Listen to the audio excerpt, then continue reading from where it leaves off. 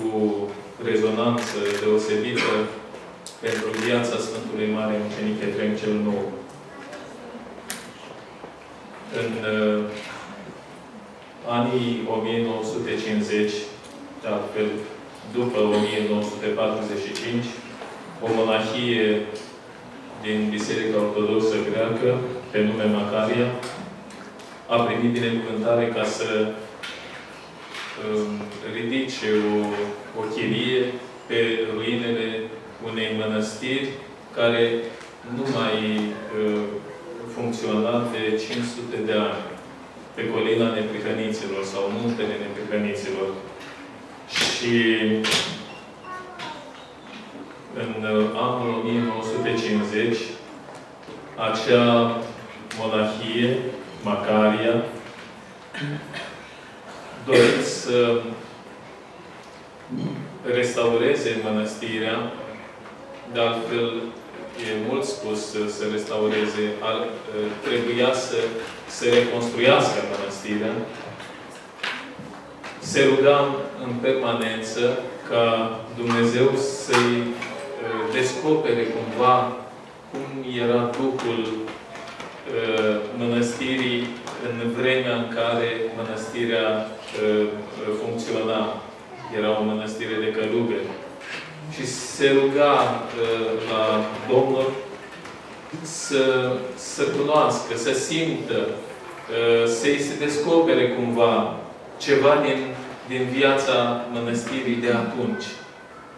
Și a început, la un moment dat, să îi se arate în vis un călugăr înalt și, și slab, care pentru început nu-i spunea nimic, dar uh, cu care se obișnuise și care îi inspira oarecum încredere.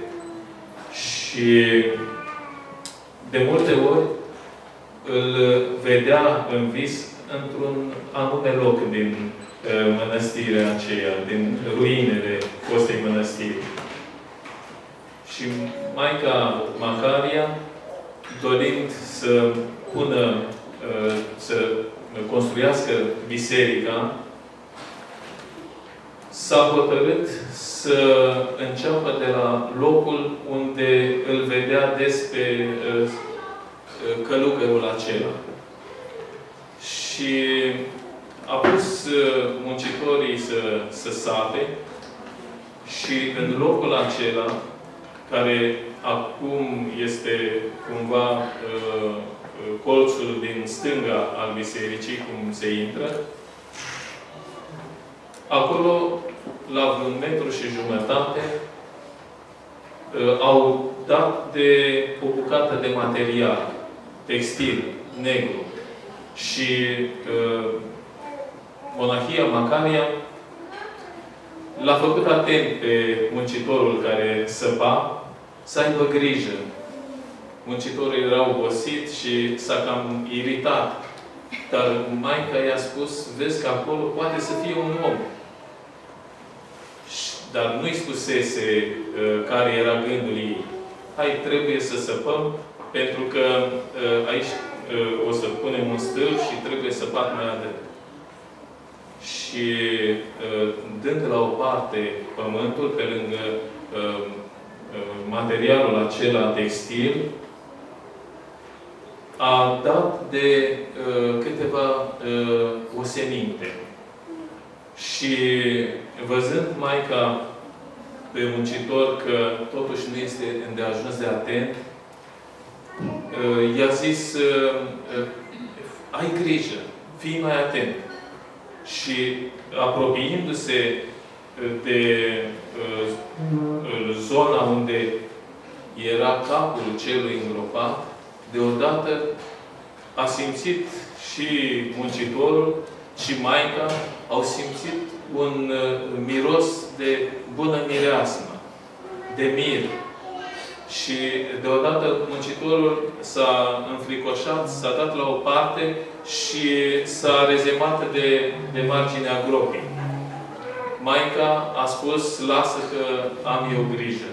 Și cu mâinile ei a dat uh, cu grijă la o parte pământul și a descoperit acolo uh, ceea ce uh, sau a descoperit comoara pe care comoara care mai, mai târziu avea să devină emblema acelui loc și uh, mijlocitorul uh, prin excelență, înaintea lui Dumnezeu, uh, Sfântul Mare Mucenic Efrem cel Nou.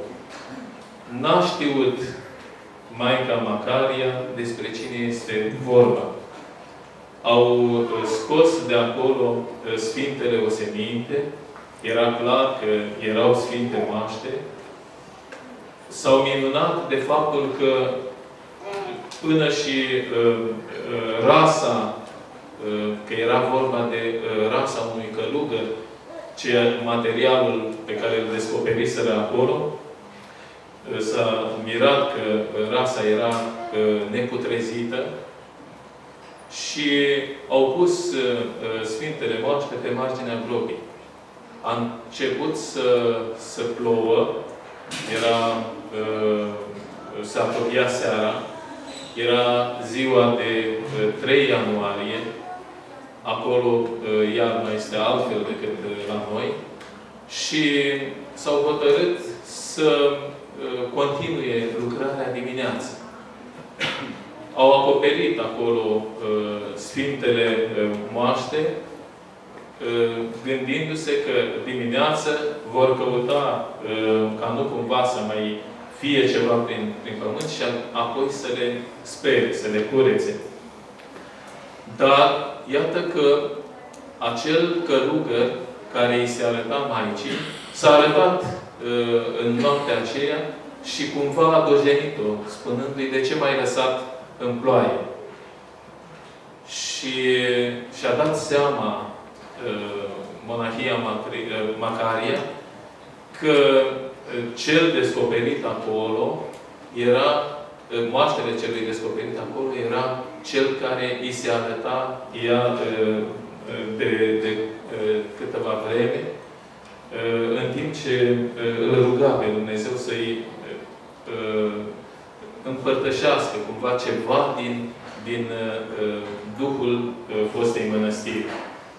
Și încet, încet, uh, Sfântul Mare Ucenic Efrem cel Nou, căci despre el era vorba, i-a descoperit uh, Maicii Macaria toate uh, cele despre viața și despre mărturisirea lui, despre mucenicia lui.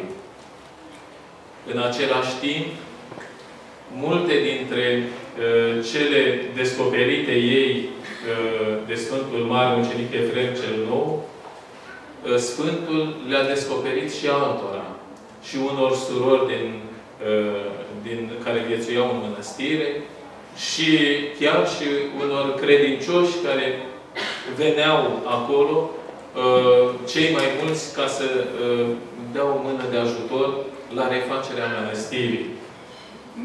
Și nu numai atunci, în anul 1950, ci și mult mai târziu, în timp, uh, Sfântul se arăta uh, unor credincioși, descoperindu-le uh, aspecte din viața și din mucenicia lui. În felul acesta am ajuns noi, cei de astăzi, să cunoaștem uh, cam tot ce, ce trebuie cunoscut de viața Sfântului Mare Mucenic Efrem cel Nou. Și ce a descoperit Sfântul uh, Maicii Macaria și celorlalți? Că Sfântul s-a născut în regiunea Tricala în uh, anul 1384.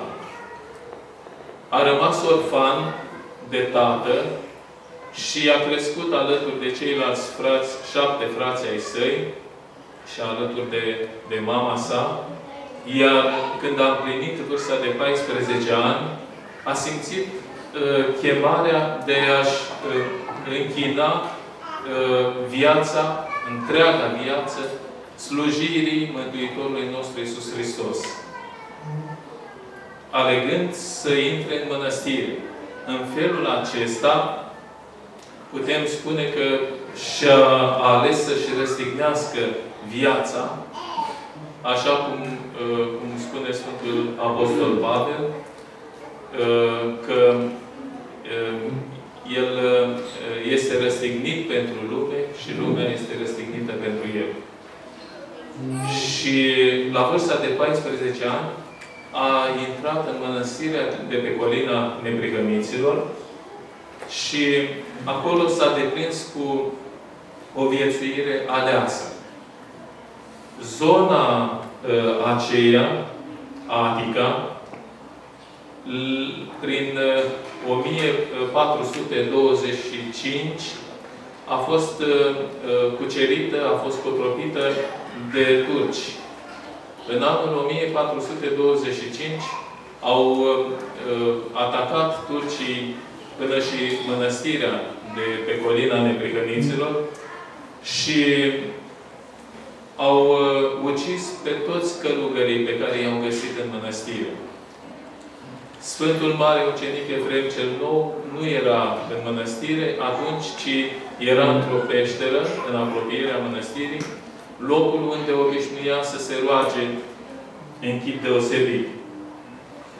Probabil Sfântul, venind în mănăstire, a ajutat alături de localnici și de cei care uh, au venit în urma masacrului la îngroparea, la înmormântarea uh, călugărilor uh, decapitați de, atunci de, de turci.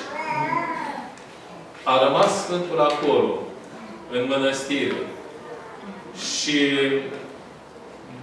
după un an, în 1426, turcii au atacat din nou zona aceea și au trecut din nou pe la mănăstire. Și l-au prins pe Sfântul Mare Ucenic Efrem cel Nou. Și l-au, uh, l-au luat în robie, nu l-au ucis precum au făcut-o cu, cu ceilalți, uh, poate pentru faptul că Sfântul nu a reacționat în niciun fel.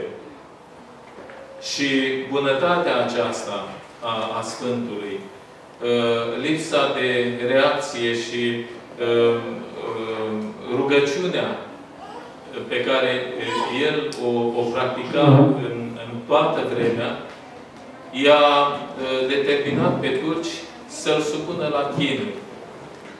I-a, i-a determinat să să-l uh, închidă, să-l lege, să-l oblige uh, să se lepede de, de credință, lucru uh, care era de neconceput pentru cel care își închinase toată viața Mântuitorului nostru Iisus Hristos.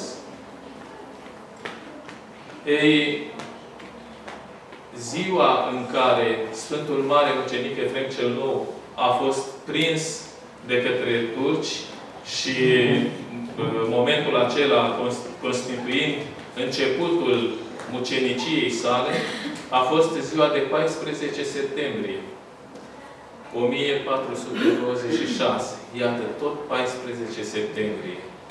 Ziua înălțării Sfintei Cruci. Și vreme de 8 luni, până pe 5 mai, Sfântul a fost supus la chinuri groaznice. Ă, sunt, am putea spune, martori cărora Sfântul uh, Mare Mucenic Efrem cel Nou li s-a descoperit, făcându-i uh, uh, ca pe niște uh, uh, martori oculari și care au descris în amănunt cum a fost chinuit Sfântul. Până și în anul 1970, un creștin din Atena a dat mărturie că Sfântul uh, a făcut în așa fel încât uh, el uh, într-o noapte s-a simțit ca și cum ar fi fost martor la chinurile la care a fost supus Sfântul Mare Mucenic Efrem cel Nou. Și a spus lucruri pe care Sfântul le-a descoperit și altora.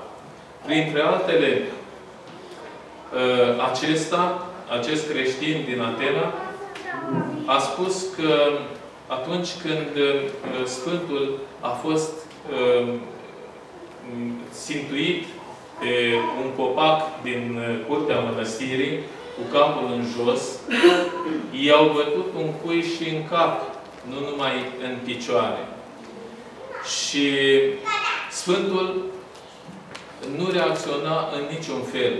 Și chiar se ruga la Domnul, precum Sfântul Arhidiacon Ștefan, ca Domnul să nu le sopătească lor păcatul acesta. Știa Sfântul care este atitudinea și care este uh, uh, calea muceniciei, a mucenicului. Și în ziua de 5 mai anul 1426, într-o zi de marți, pe la ora 9, Sfântul și-a dat sufletul în mâinile Domnului după ce, în prealabil, uh, un uh, chinuitor turc i-a luat o, uh, un lemn aprins și l-a înfipt în, în pântece. Nici atunci uh, Sfântul uh, n-a uh, zis vreun cuvânt rău, ci uh, doar a arătat uh, cumva că uh, simte durerea dar o simte, dar în același timp și o asumă. Și știa că merită să, să sufere pentru ceea ce va primi uh, după aceea. Și a fost dat jos din uh, uh desfăcut din, din legăturile cu care era legată de copac, și nici măcar atunci când uh, jos fiind uh, își uh, trăia ultimele clipe, nici măcar atunci nu a fost uh, lăsat uh, de chinuitori, ci și atunci a fost uh, lovit. Toate acestea le povestea cu, uh, uh, în amănunt Uh, acel creștin uh, în anul 1970, acel creștin din, din Atena. Mai mult decât atât, după ce a plecat, au plecat turcii, l-au lăsat acolo uh, în, într-o baie de sânge, dar noi putem spune că era înveșmântat în haina de sânge a muceniciei, după aceea, în apropierea mănăstirii, uh, treceau uh, doi uh, localnici care nu aveau de gând să intre în zona aceea, ci treceau pe lângă mănăstire. Și au văzut că se apropie de ei un câine. Un câine alb cu pete negre, era câinele uh, care îl însoțea pe uh, Sfântul Mare Mucenic Efrem cel Nou. Și câinele uh, avea ochii umezi de credeai că plânge, că îi curg lacrimi din ochi. Și a venit câinele la cei doi localnici, după aceea s-a depărtat către mănăstire, iar a venit, parcă voia, iar a plecat și parcă voia să, să spună ceva câinele. Și oamenii au, și-au dat seama, au simțit că acel câine vrea să le arate ceva. Și l-au condus, uh, i-a condus câinele la locul unde era trupul însângerat, înveșmântat în sângele mucenicii, al Sfântului Mare Mucenic Efrem cel Nou. Și și-au dat seama că este unul din călugării uh, mănăstirii și l-au luat, au săpat o groapă, probabil groapa uh, care avea să fie descoperită peste 500 de ani din rânduiala lui Dumnezeu de către uh, Maica Macaria. L-au așezat acolo și uh, ca să vedeți lucru minunat, cum uh, viețuitoarele care sunt pe lângă noi uh, arată că și ele sunt în slujba lui Dumnezeu, câinele acela a uh, uh, alergat către locul unde fusese chinuit uh, Sfântul Mare Măcenic Efrem cel Nou și de acolo a adus o, o bucată din, o bucățică din trupul Sfântului care uh, fusese ruptă în timpul chinurilor. A adus în, în gură și uh, a, a lăsat um, partea aceea din trup, a lăsat-o lângă groapă, ca oamenii să, să îngroape și, și partea aceea. Lucrul acesta, iată, l-a mărturisit cel care a avut această vedenie, această viziune, prin mijlocirea Sfântului Mare Mucenic Efrem cel Nou și care este în concordanță și cu, cu alte mărturii uh, separate, de la, uh, la distanță, uh, percepute și ca spațiu și ca timp.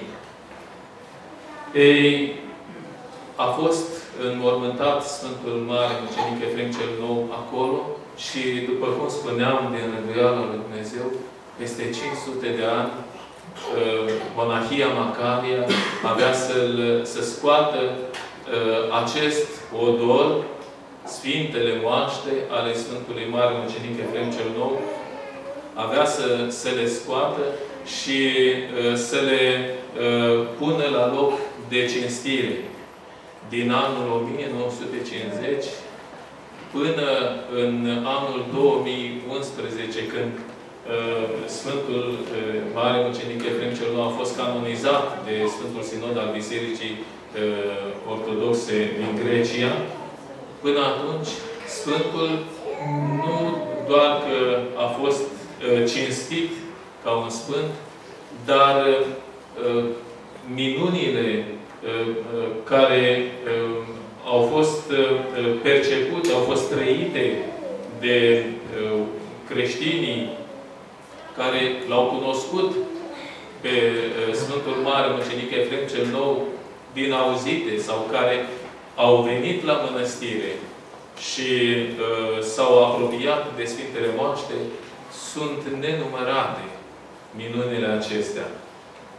Toate acestea au uh, făcut ca uh, Biserica Ortodoxă Greacă, Sfântul Sinod al Bisericii Ortodoxe din Grecia, să-L canonizeze pe Sfântul Mare Mucenic Efrem cel Nou. Uh, acum, nu că uh, atunci uh, Sfântul Efrem a devenit Sfânt, ci doar i s-a oferit recunoașterea din partea Bisericii și i-a fost alcătuită slujba cu, cu, cu toată uh, rânduiala. Însă această perioadă a fost așa cum uh, sunt și uh, zilele pe care le trăim, uh, acea, acea, acea perioadă a fost plină de uh, mijlocirea și de uh, minunile uh, pe care Sfântul Mare Mucenic Efrem cel Nou le-a uh, lucrat în, în viața uh, multor credincioși. În, astăzi, în uh, vremea aceasta uh, în care trăim, din rânduiala Bunului Dumnezeu, la uh, mănăstirea închinată Maicii Domnului din Macri, acolo unde se află moaștele Sfântului Mare Mucenic Efrem cel Nou, șirul pelerinilor români nu, nu încetează niciodată, nu se termină.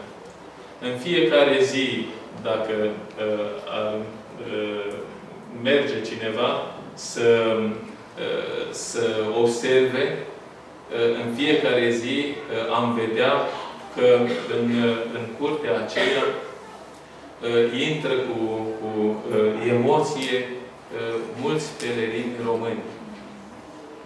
De altfel, epitrahilul care este pe trupul, pe Sfintele Moaște, epitrahilul cusut în fier de aur și papucii pe care Sfântul îi are în picioare, reprezintă donația pelerinilor români care au dorit să contribuie la costurile acestor odoare. Și, așa cum spunea doamna, sigur, Maica Stareță și Egumena cunosc Evlavia și apreciază Evlavia românilor în față de Sfântul Mare Mucenic Efrem cel Nou. Așa cum, cum spunea doamna, Sfântul Mare Mucenic Efrem cel Nou se arată nu doar celor care caută să-L cunoască și putem spune că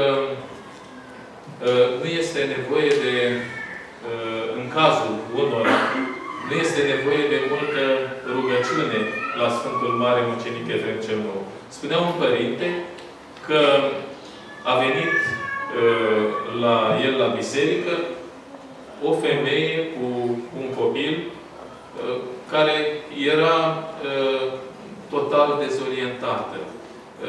Se vedea că nu are niciun sprijin. Nu știa ce să facă.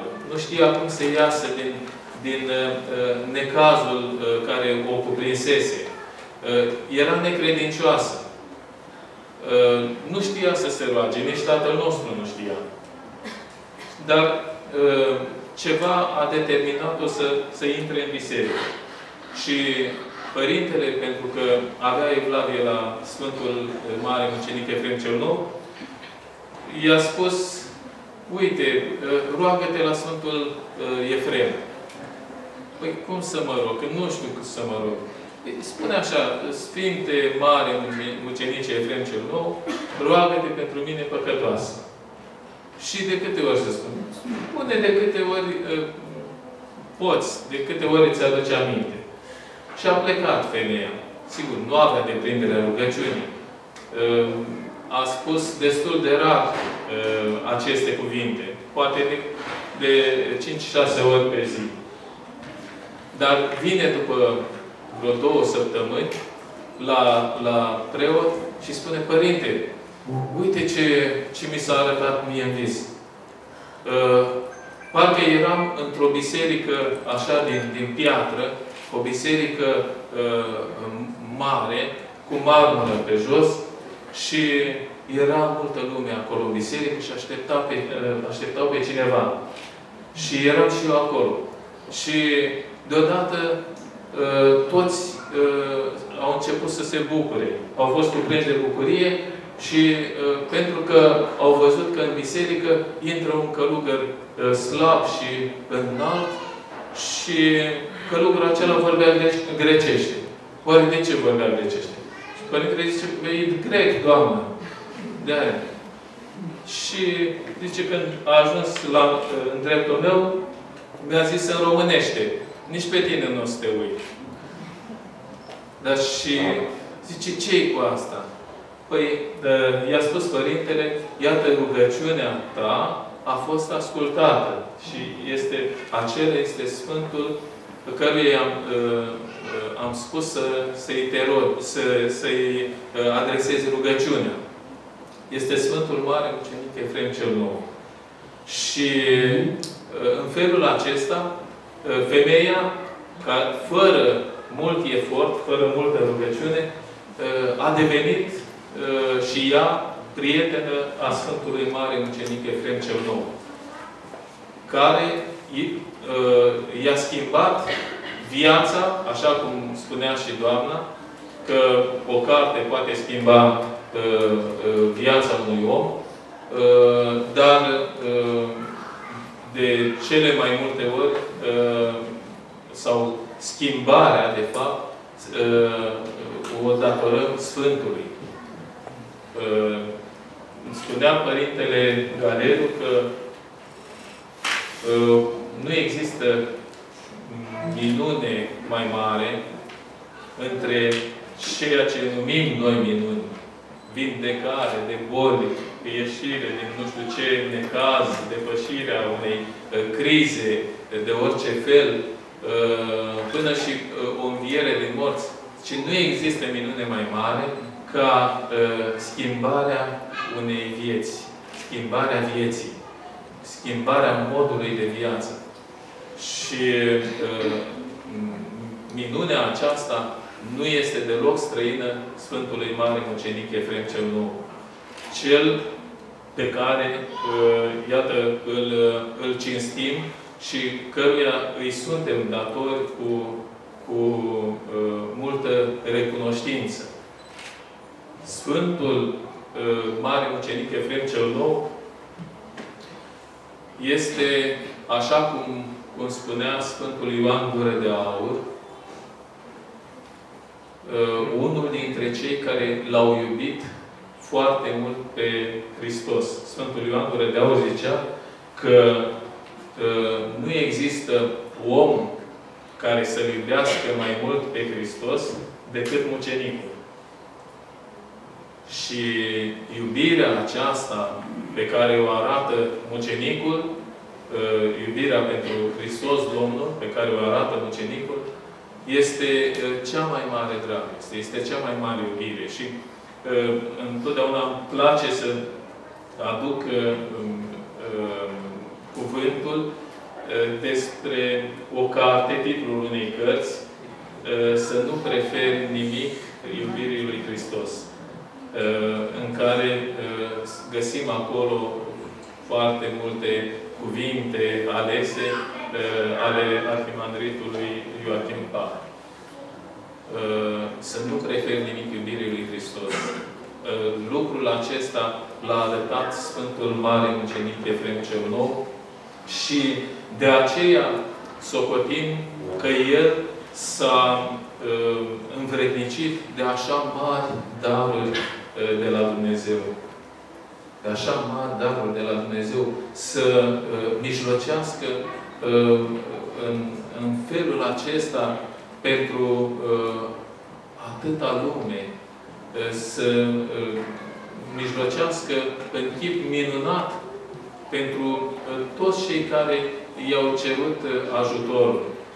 Aici se, se vede uh, încă o dată ceea ce i s-a arătat uh, unui uh, alt uh, admirator al Sfântului Mare Ucenic Efrem cel Nou, că atunci când Sfântul și-a dat Duhul, uh, cel care a avut viziunea uh, a văzut pe Îngerul Domnului care a venit cu o cunună uh, de flori și pe cunună a luat sufletul Sfântului Mare Mucenic Efrem cel Nou și l-a înălțat la cer și l-a văzut pe Mântuitorul nostru Iisus Hristos primind cu, cu multă dragoste uh, sufletul Sfântului Mare Mucenic Efrem cel Nou.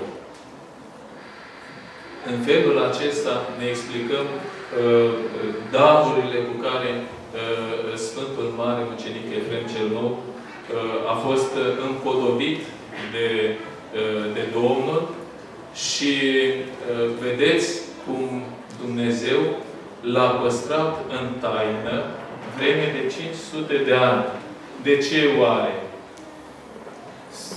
Cu siguranță Dumnezeu a așteptat vremea când lumea avea să uh, aibă nevoie uh, cel mai mult de ajutorul unui Sfânt atât de mare, cum este Sfântul Mare Mucenic Efrem cel Nou. Slavă Domnului pentru toate! Mulțumesc Părintelui Vasile Danușa. O să-i dau